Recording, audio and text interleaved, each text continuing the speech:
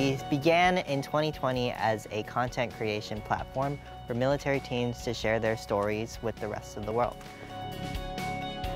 Back in 2020, my best friend Elena um, and I, we both experienced a really rough move uh, away from a place we really love. As we were coping with that uh, change in our lives, um, we decided to channel what we were feeling into positive change. Uh, we really wanted to use our experiences to ensure that people in our situation knew that they weren't alone, um, which is how Bloom came about.